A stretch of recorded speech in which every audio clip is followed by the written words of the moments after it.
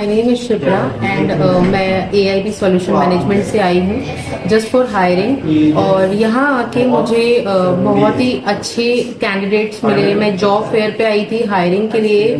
इन सभी बच्चों का कम्युनिकेशन स्किल्स बहुत अच्छे थे। सब बच्चे बहुत कॉन्फिडेंट थे। और इनका जो ट्रेनिंग मिला है जो इनको uh, जो एजुकेशन इनके पास है उसके अलावा अदर क्वालिफिकेशन है वो सब बेस्ट थी तो मुझे यहाँ के बहुत अच्छा लगा।